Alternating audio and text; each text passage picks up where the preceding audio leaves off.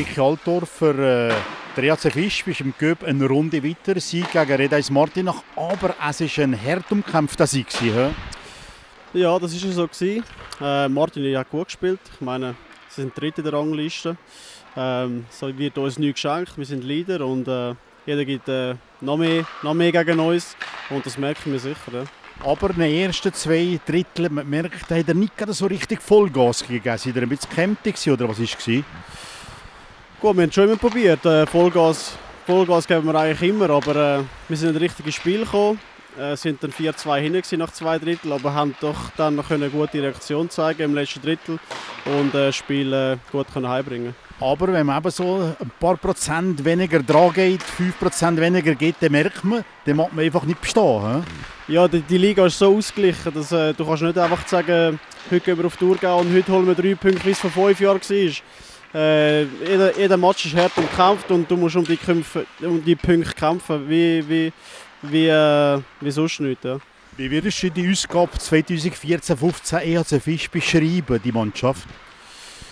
Jung, äh, ausgeglichen, Energie und äh, viel Wille vor allem. Also positiv kann man schon etwas erwarten? Ja, auf jeden Fall. Ich meine, wir haben etwas, etwas bestätigen von letzter Saison und äh, das ist sicher unser Ziel.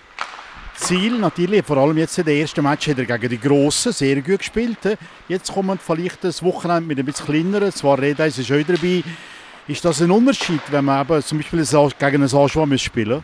Nein, wie gesagt, eben die Liga ist so ausgeglichen. Äh, du musst jeden Abend musst kämpfen um deine Punkte, äh, sonst, sonst, sonst klappt nichts. Anschwung ist natürlich auch immer eine weite Reise, die er machen muss. Was macht der Niki so von dieser Reise?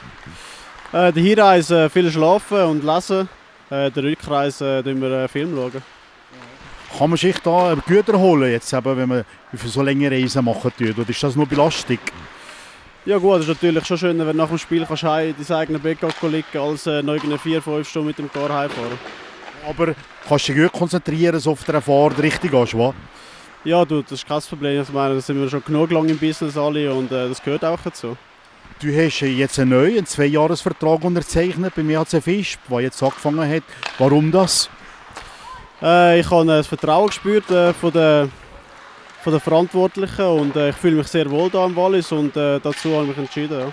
Also weiterhin gefällt es dir hier im Oberwallis? Sehr, ja. Aber Richtung Nationalliga wäre das doch noch mal ein Ziel, ein Fernziel? Äh, wenn die Angebote kommen, muss man das sicher genauer anschauen, aber im Moment bin ich sehr glücklich da. Ja. Und weiterhin Erfolg mit dem EHC Fisch in Meisterschaft und Cup? Absolut, ja. Alles Gute, merci. Merci.